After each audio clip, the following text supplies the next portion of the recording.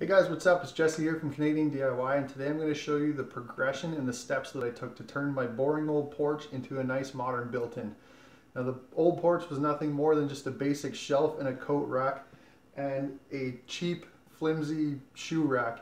Um, this one now has tons of character, tons of storage, and tons of usability. I've got a shoe rack with a bench on top so you can sit down, put boots on, stuff like that. There's a lift up top at the back where the boots can actually be stored out of sight.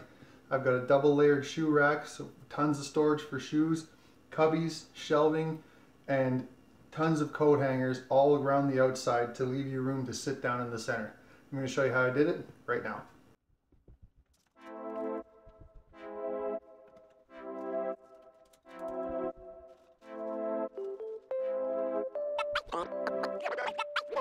One.